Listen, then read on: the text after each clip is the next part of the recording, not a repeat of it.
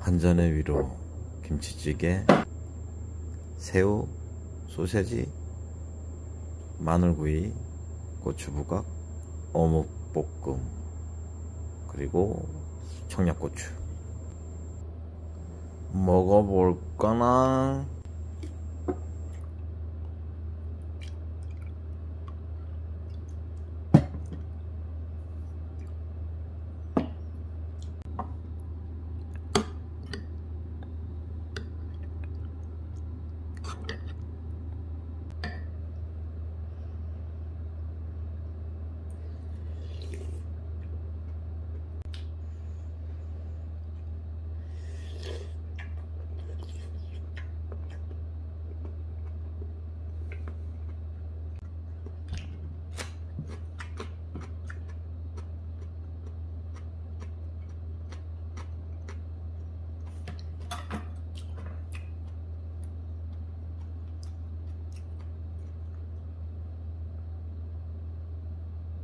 あ